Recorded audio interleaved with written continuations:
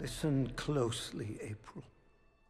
I don't remember a time before living in that laboratory. That fateful night started like any other. Sacks gave us our injections. Your father made sure our vital signs were strong. And you, as always, provided us with a special treat. After the brothers went to sleep, I heard loud voices.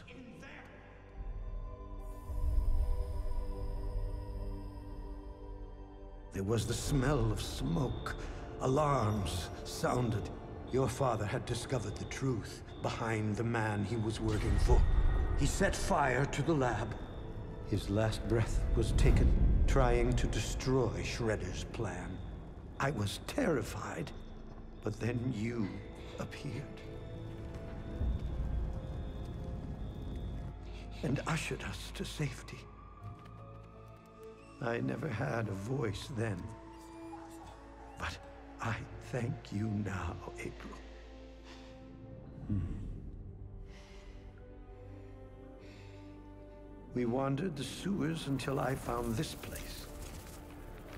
It was then that the mutagen that was injected into our blood began to change us in miraculous ways.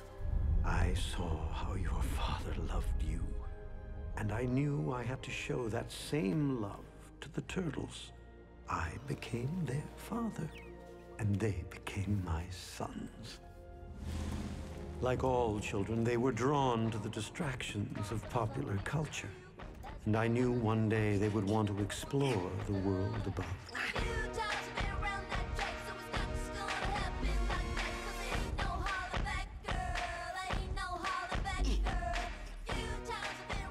They would be ridiculed. They would need to learn to protect themselves, both mentally and physically. Hey, does anyone want to play Buck Buck? Buck one, Buck two, Buck three. Where you going, Raz? Come on, I can't play by myself. I need all four. Yeah, that sounds stupid. Like you, Mikey. That's why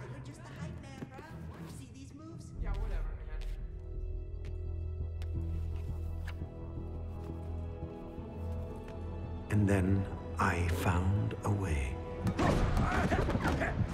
First, I would teach myself the ancient art of ninjutsu.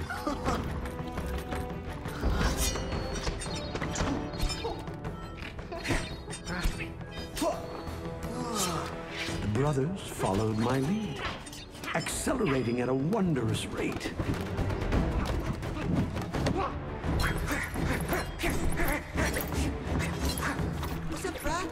Want some of this? I'm like a ghost. I'm over here. Now I'm over here, bro. Shadow. I'm a flame shadow fire dragon.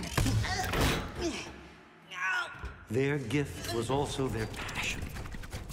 They lived, breathed, and dreamed all things martial arts.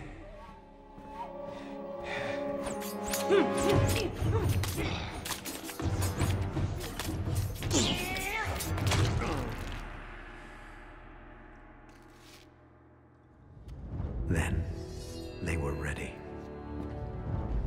The katana, most noble of all the blades. It is the weapon of a leader.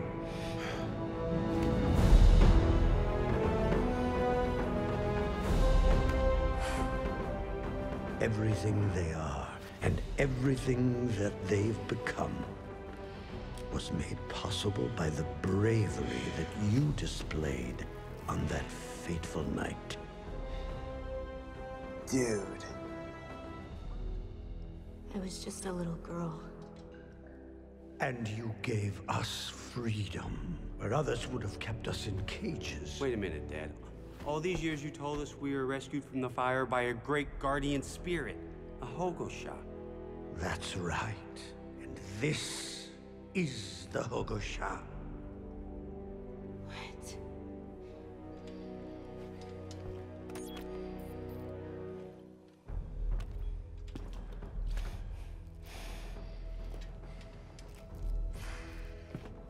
Girlfriend's totally the Hogo Hogosha.